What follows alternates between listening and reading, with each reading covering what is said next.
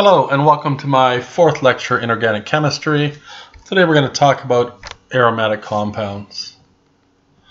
Aromatic compounds are those that include a benzene ring in their structure. Uh, they can have more than one benzene ring, but the ones that we're responsible for will have a single benzene ring. Um, th this ring structure is a highly uh, chemically stable substance. Um, as, as such, it reacts like a saturated compound. Saturated compounds like the alkanes undergo very slow substitution reactions.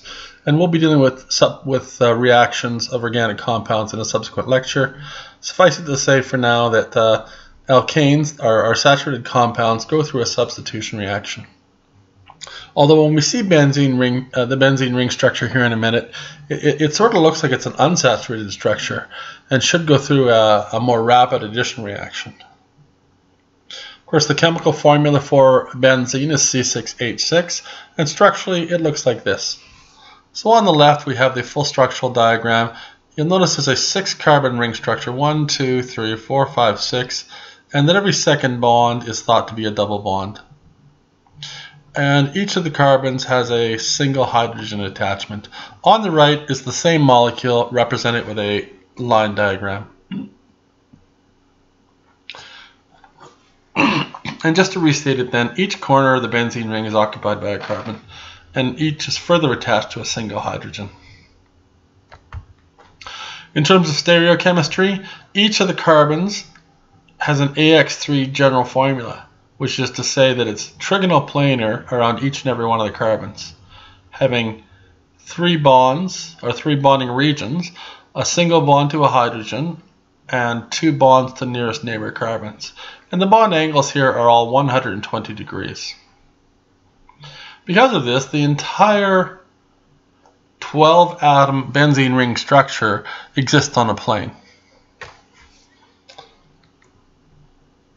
Um, Benzene appears to resonate, resonate which uh, hopefully you recall from grade 11, the theory of resonance.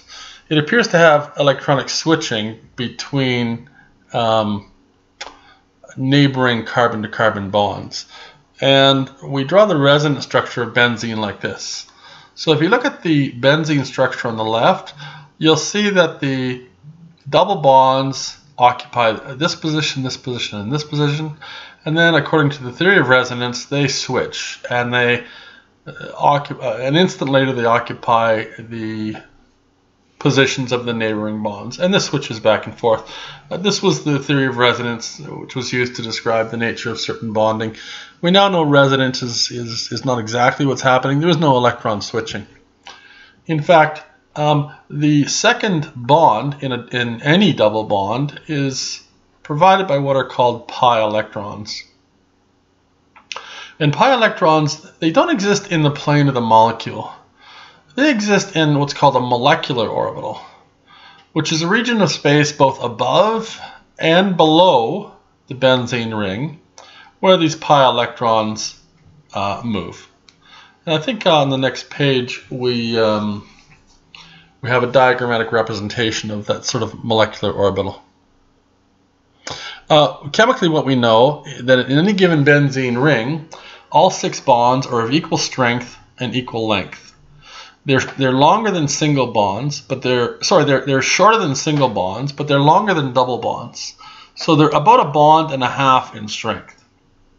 And, and this is consistent with our uh, with our, our current understanding. The molecular orbital adds some strength to each and every one of the bonds in the benzene ring. And as we've said, each aromatic compound contains at least one benzene ring, and this course is limited to those compounds that have a single benzene ring. Oh, and here's the representation I was talking about. What you see here in black is the, the, the six carbon benzene ring structure, and then the red sort of donut shapes both above and below the benzene ring is where these uh, these pi electrons, these uh, electrons that supply uh, what we thought was a double bond, exist. They don't exist in the space between the carbons. Naming aromatic compounds isn't quite as straightforward as naming straight chain compounds, like the aliphatics. Quite often more than one name is acceptable. And because there are so many compounds, uh, we have to put limits on the number of names that we're responsible for. Um, uh, the, the, complication is that the benzene ring can either be the root of the name uh, or it can be referred to as phenyl uh, in, as a prefix uh, and an attachment to a straight chain hydrocarbon. So quite often the same compound will have two commonly accepted names. And below I have a couple of examples for you of where both naming rules apply. So the molecule on the left then, you'll see has got a single carbon attachment to a benzene ring. Of course, single carbon attachments are methyl groups. So this would be methyl benzene.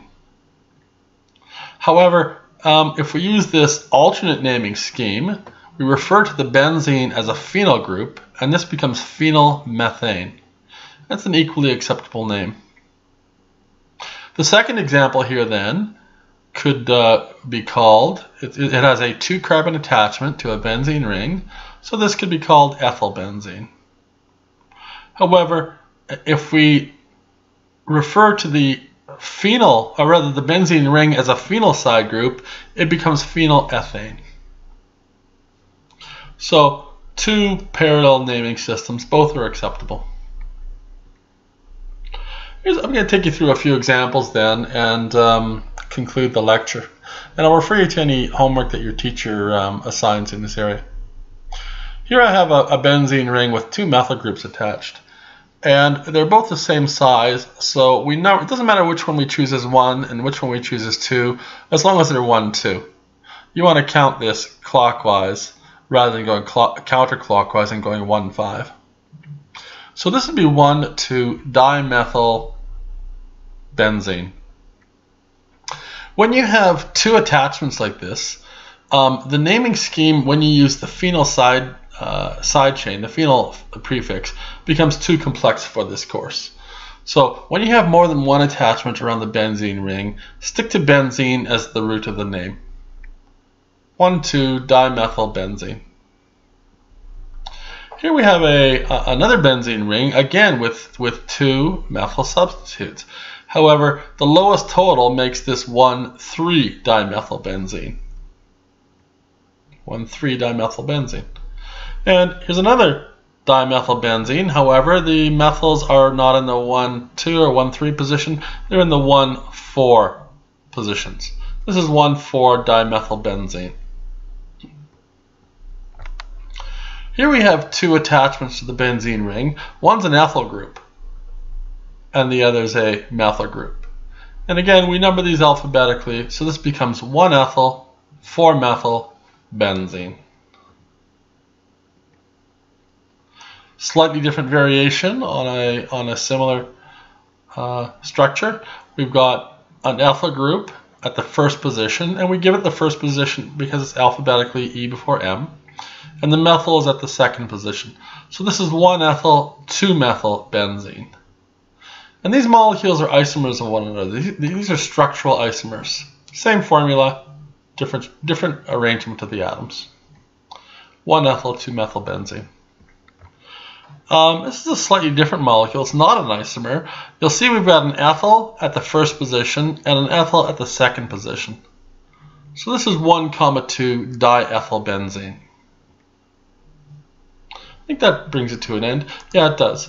Um, hopefully you found that of some use, and we'll see you again next time when we talk about, um, I believe it's organic chemical reactions. Thank you.